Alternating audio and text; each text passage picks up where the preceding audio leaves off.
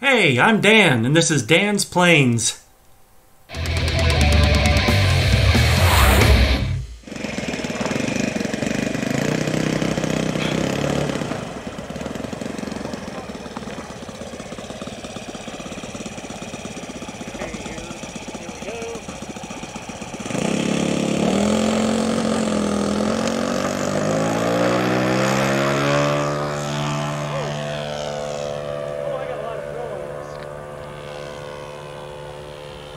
Feels like I have no expo.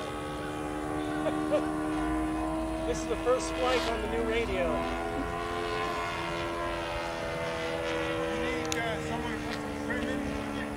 I think it's a lack of expo and trim combined.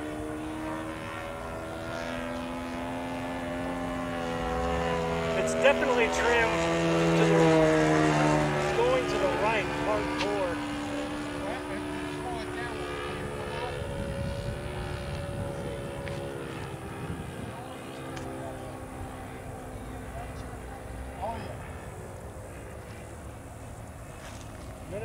Trim reach.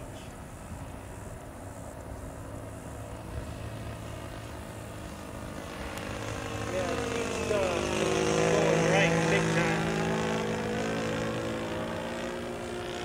And then the controls are ultra sensitive.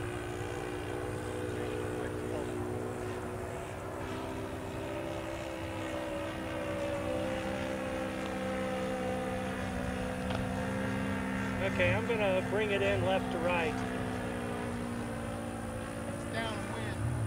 Is it?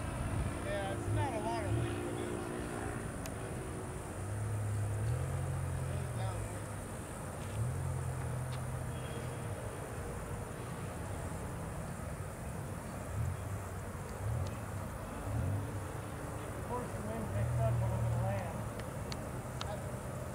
Alright, I'll go the other way. Landing right to left.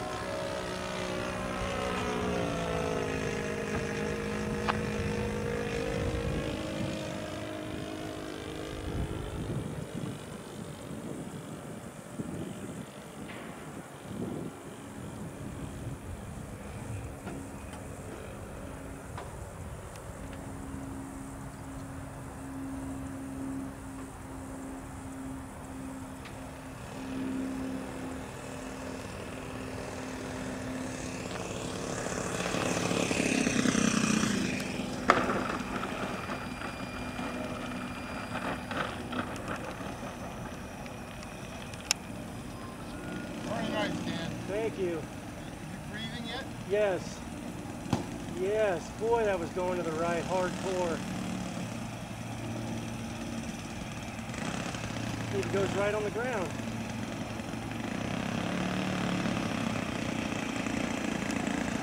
Jeez. Really goes right on the ground.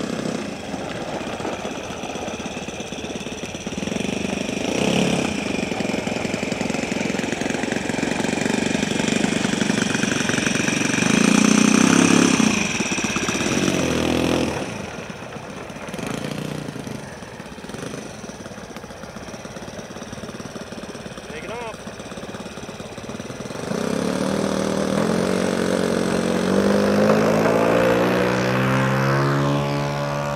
That was pretty awesome.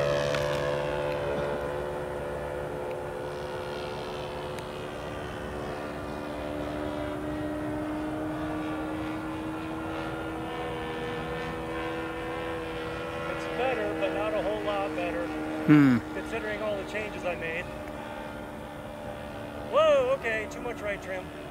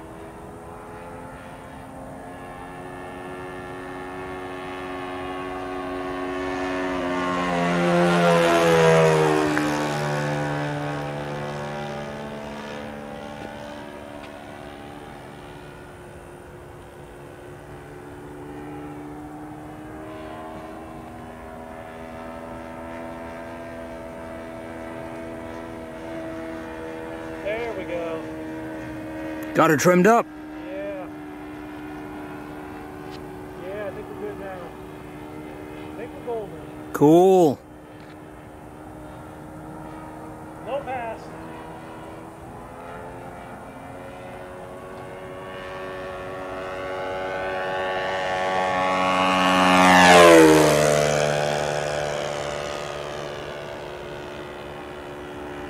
She looks good against those trees.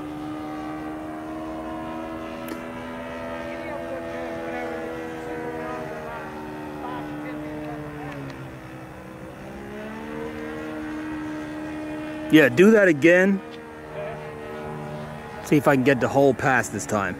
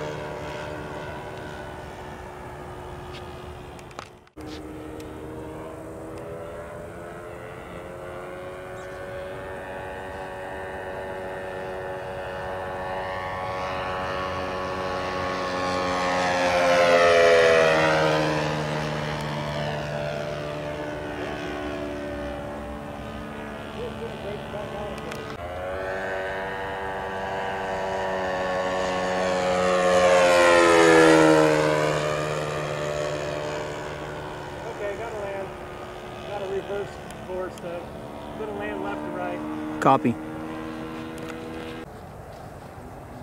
Gotta make sure my gear's down. Yeah, they're down. Okay, good.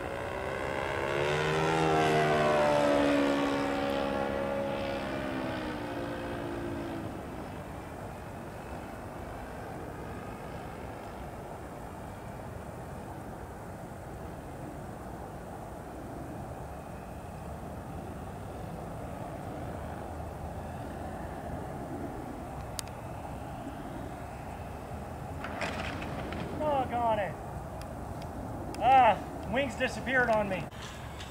Just some discussion on this. So, this had sat for, you know, a good three or four years in my workshop until this year I finally um, refurbished or finished refurbishing the front end because the wood had so much oil in it. Um, I then put in electric retracts in it, which are really cheap China made retracts. And I flew it once with the normal radio I used to fly it on all the time, my Hitec Aurora 9. And I landed in the grass, the gear ripped out. Um, so I took it back, I fixed that. I put it on my new Radiomaster TX16 and set that up. Um, had some problems trying to figure out how to set up the um, carburetor throws correctly and having a kill switch on it and having a a idle up idle down switch on it so i had to confer with matt on that um, so now I flew it this evening and it was going a ton, ton, ton to the right. Like it would almost roll by itself if I would have let it um, to the right. So brought it down and what I found was one of the ailerons was the, let's see, the right aileron was deflecting about half deflection just sitting at neutral.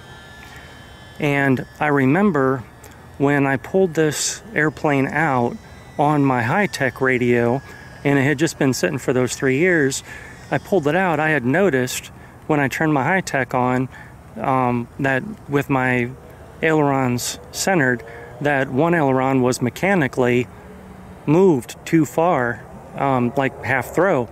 So I'm wondering if it was the same one and somehow it's now corrected itself, or maybe switching to the Radiomaster um, is is what corrected it. I can't believe when I stood behind it and tested my um, tested my surfaces before I flew. I can't believe I wouldn't have seen that aileron sticking up halfway. I mean, that's significant enough. Um, but stranger things have happened, but it's just seems like I would have noticed that. Um, then I noticed after the first flight today, first flight on the Radiomaster, I also noticed that um, both ailerons were moving okay with the stick, but when I tried to add trim when I was up in the air and then again down on the ground, the left aileron will not move with trim inputs. I have no idea um, why that is or how that could even happen. So I'm going to have to confer with Matt uh, again on that um, or jump online and see if anybody knows what's going on with that.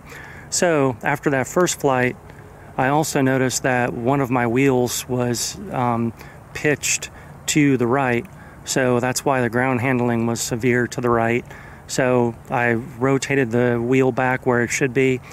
I set the mechanical um, servo back to neutral, and then I used sub trim on both ailerons, same amount, um, to give me left trim. Then I flew it the second time, which you just saw, and I still had to give it um, still had to give it trim, but was able to get it trimmed. And then she flew like an old pair of comfortable shoes you you hadn't worn in a long time. So that was all good. And then coming in on approach, um, I went out too far. I was thinking this was one of my more giant scales. I, I just didn't need that much runway. I didn't need to go out that far. And um, what often happens is when you go when your plane goes from being in the blue sky down to the trees, sometimes your eyes have to adjust and you lose the wings. And that happened to me. I lost the wings and I couldn't tell what my pitch was. So I came down um, to with my nose pitched down, and um, that was the result of the flight you just saw. So, um, what might have happened on it is pitching down on the nose, um, making it land a little hard.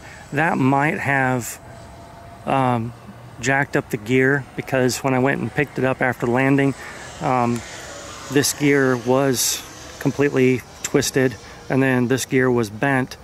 Um, so it could have been cheap gear that gave out and that's what made it continue to pitch down. But I think it was more my fault of um, not being able to see the pitch and being uh, too far down downward in pitch. So that's what's going on with this, but I've been able to um, uh, bend the retracts back. I see I've lost um, one small screw in each of the retracts. You can see that. Um, I'm going to have to um, straighten these again with the Allen wrench, but no big there, no biggie. But look at all that awful slop. That's a lot of slop on these things. So that's what's happening with this plane, and we'll get her back up in the air sometime. Thanks so much for watching. I'm Dan from Dan's Planes. I just want to share some content about RC planes, something I've been passionate about since childhood. I'm hoping I can teach something to someone, I can start some discussion and learn some things from others. So let's just have some fun and learn some things together. If you enjoyed what you watched, it would really help me out if you could like, subscribe, and share. And if you feel that it helped you out in some way, or it might help future viewers, I'd really appreciate it if you'd visit my Patreon page and become a patron. It's like throwing a dollar tip into a guitar case when you pass by. It helps to, to fund future content and future projects that I'll be working on. I plan to show some past content. I have some other flights and I have some fly in events that I've been to. And I also plan to show future flights and future repairs, as well as building ARFs and, if I can ever get back to it, building my Top Flite uh, Spitfire. So there's a lot of content to come, but it's it's viewers like you that are able to support what I'm doing, and by doing that, I'm able to spend more time creating that content in the future. So I'd really appreciate it. But either way, thanks for watching, and thanks for any support, and I wish you blue skies and good speed.